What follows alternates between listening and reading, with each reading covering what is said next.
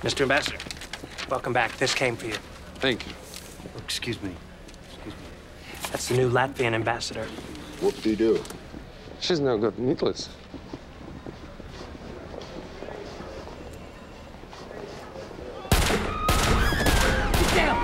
Police officers! Everyone down! Down! Down! Get down! Everyone down! One now.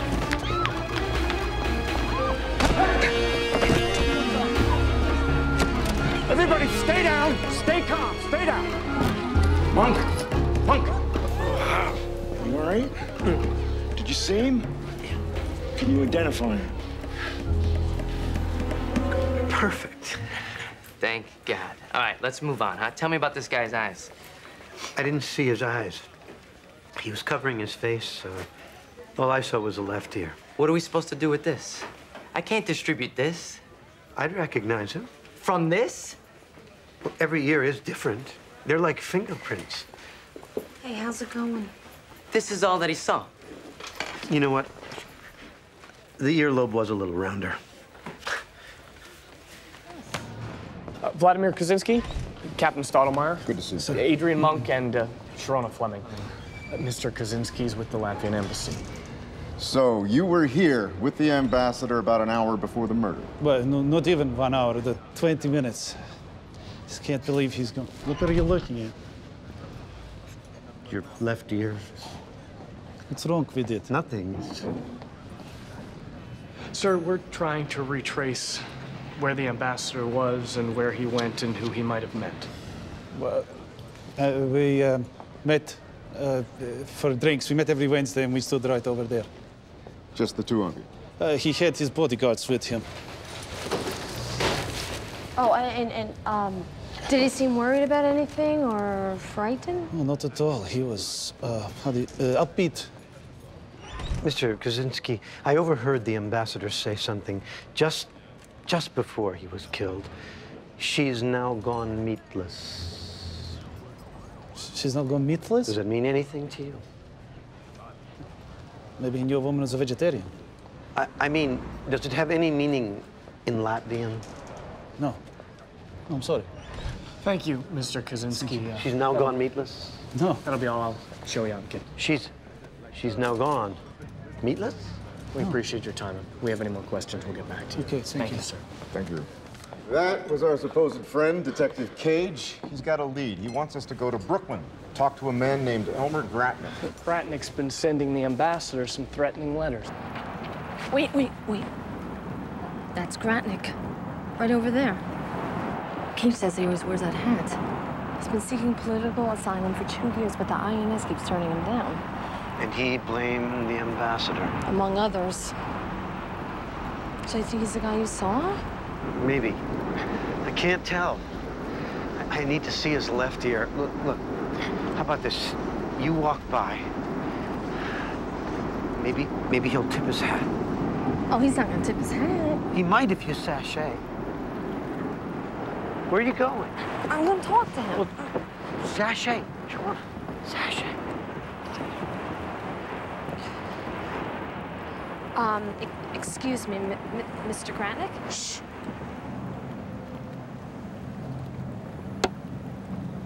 Now talk. You can bother him all you want. We're working with the police department on the assassination. There was no assassination. Assassination is a word they use for great men. Ambassador Krasnov was no great man. Transbiasuns, he was a dog. Excuse me. Uh, that, that is a nice hat. Thank you.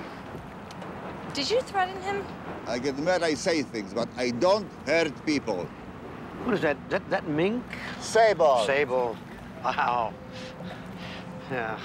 Could I, could I hold it? Or Why? I love hats. I collect them. I'm a, I'm a chapeauologist. No.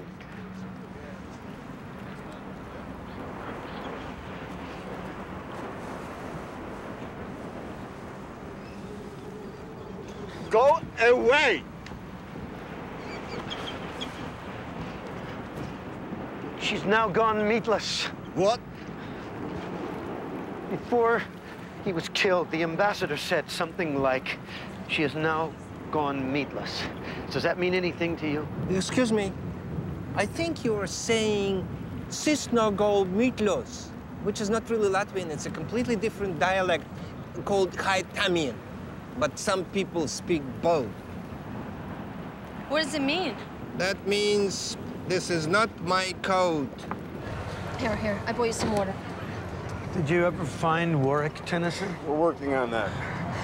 They've got the home field advantage, but we're still working. Why don't we go back to the hotel and get some rest, okay? Come on. That's the guy from the hotel. What, the shooter? How do you know? His ear, I'd recognize it anywhere. Yeah, his name's Stephen Light. His wife was just killed in Central Park. I was just reading about him. Wait, and he killed the ambassador. What's the connection? I don't know, I don't know. But he's the guy. I've never been more sure. Oh, he's coming, he's coming. Stephen Light. Hi, I'm Leland Stottlemeyer, San Francisco Homicide. This is Lieutenant Disher, Sharona Fleming, and that's Adrian Monk. He's helping us out. He's nearsighted. You were supposed to meet us at your apartment nearly an hour ago. You weren't there. Are you avoiding us, sir? No, no, no. I'm, I'm sorry. I, I forgot. You know, it's. I'm just. I'm not thinking very straight right now. It's. It's. It's been a terrible week. Your assistant said we might find you here, that you were doing some errands. Yeah, that's right. I. I went to the pharmacy. You know, I. I've already talked to the police five times. I told them everything I know. Mr. Light, would you mind telling us your story again? You guys are from San Francisco, right? Yep. I, I don't understand. What does Beverly's murder have to do with you? We're working on a different case, but we think there might be a connection. Two days ago, it was it was our anniversary. We had tickets to the matinee. We were supposed to meet out in front of the theater, and she never showed up. Uh, I, I called everybody that we knew. Finally, I called the police. Excuse me. They had just found her body over by the boat pond in Central Park. The cops, they, they think that uh, they think that she resisted. And what do you think? I don't know. You know, she was she was wearing her grandmother's necklace, and, and it meant the world to her. I think if somebody probably tried to take that, she would have fought back. Mr. Light, have you ever been inside this bar before? Maybe. I don't remember. Maybe I can refresh your memory. You were here on Wednesday, just minutes after you killed your wife. You're crazy. Here's what happened. You took your wife to the park and you found a secluded area. And when you were sure no one was watching, you shot her. Then you took her jewelry to make it look like a robbery. Afterwards, you were pretty shaken up. Cold-blooded murder has a tendency to do that. So you decided to have a drink before you called the police. Of course, you didn't notice the ambassador from Latvia was sitting just a few feet away. Why would you? You'd never met the man. But then your worlds collided. The coat check girl gave him your coat by mistake. From what I've seen, that happens around here all the time. Later, when she gave you the ambassador's coat, you immediately realized what had happened. You had to get your coat back because your wife's jewelry was still in the pocket. Could have easily been traced. If anybody found it, they'd know you killed her. The ballistics check out. The wife was killed with the same gun. Mr. Light, you're under arrest for four counts of premeditated homicide. It's jungle out there. Disorder and confusion everywhere. No one seems to care. Well, I do. Hey, who's in charge here? It's jungle.